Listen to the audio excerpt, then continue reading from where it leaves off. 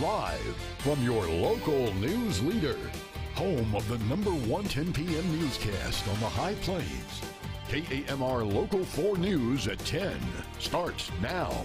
Two people are dead after a Friday afternoon wreck in Carson County. Thanks for being with us tonight. Let's get to our top story tonight at 10. According to DPS troopers, it happened around 3.30 yesterday on State Highway 207, about 10 miles north of Panhandle.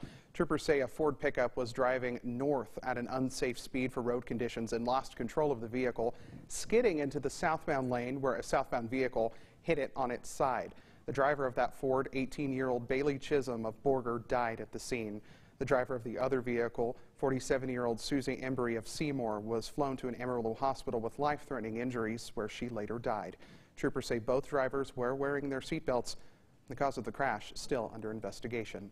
Nearly triple-digit new COVID-19 cases across our area, area today. Facts not feared tonight at 10. 96 new COVID-19 cases were reported. There was also six new deaths to report, unfortunately. 196 new recoveries were reported, though, that bringing our total active cases across the area to 5,414. Here's a look at where you can go to get your coronavirus vaccine. You can head over to the Amarillo Public Health Department 850 Martin Road. They're open Monday through Friday and offer both the Moderna and Pfizer vaccinations. You must set up an appointment before you go, though. And if you don't want to have to set up an appointment, you can always go to the mobile vaccination clinic next week. They'll be at Pinnacle Intermediate School, 4545 Meadow Ridge Drive. That will be on Wednesday from 4 to 7. President Biden made a last minute trip to Capitol Hill Friday to try and sync up his party to get his economic agenda passed, but lawmakers left for the weekend with no deal. KAMR Local 4's Anna Wiernicki reports how top Democrats are now working to salvage that deal before the end of the month. The latest from your local election headquarters. Meanwhile, the first women's march of the Biden administration made its way straight to the steps of the Supreme Court this morning. The demonstration took place just before the start of a new term for the Supreme Court that will decide the future of abortion rights in the United States. The demonstration was one of several nationwide protests for abortion rights, that including the one here in Amarillo. The march started in Ellwood Park this morning at 11 and went to the Potter County Courthouse. And we spoke with those marchers who participated. For more political coverage along with that interview, you can find that over on our website, myhighplains.com. Time to set news headlines aside. Get a check on our forecast with forecaster Christian Rangel joining us now live from the Weather Center. Good evening.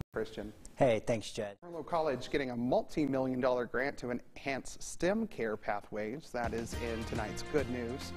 AC has been awarded a nearly $4.8 million five-year grant by the Department of Education. The college will focus on developing a work-based learning system for STEM students, update technology skill instruction in, in STEM programs, and develop a STEM scholarship program.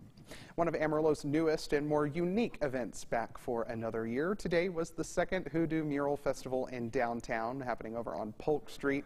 The festival celebrates the completion of artists' paintings five walls over the span of this past week. The festival was established in 2019 and says it creates an outdoor gallery for all to enjoy. I just think it's really important to have free public art. Things that are for the community. You don't have to buy a ticket to that.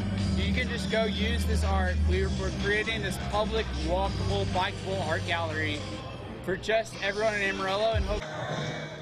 A new feature this year was the addition of a music festival. Attendees were able to enjoy the live music, live painting, and art demonstrations and food trucks as well. It was a way to show support to kids with Down syndrome and their families. Coming up, we have a look at Amarillo's 20th annual Buddy Walk. And later, we'll check back in with Christian for a full look at your forecast. You're watching KAMR Local 4 News at 10.